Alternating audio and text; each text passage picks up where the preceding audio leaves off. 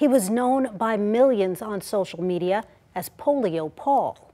Paul Alexander of Dallas was forced to live most of his life in an iron lung after contracting polio.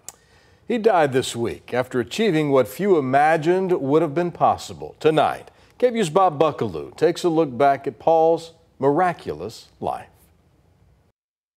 For 72 years, Paul Alexander lived most of his life in and out of an iron lung. He contracted the polio virus when he was six and lost the ability to breathe on his own.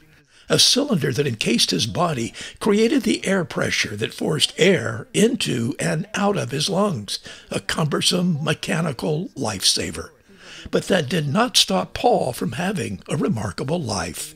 He earned a law degree from UT Austin, wrote a book about his life, and built a big following on social media. Paul inspired people around the globe and was seen by millions in regular TikTok videos. Paul eventually taught himself to breathe on his own for a few hours a day and could leave the machine only to return when it became difficult to draw a breath. He had been a member of a generation of mostly children stricken with polio, a virus that struck fear in parents everywhere.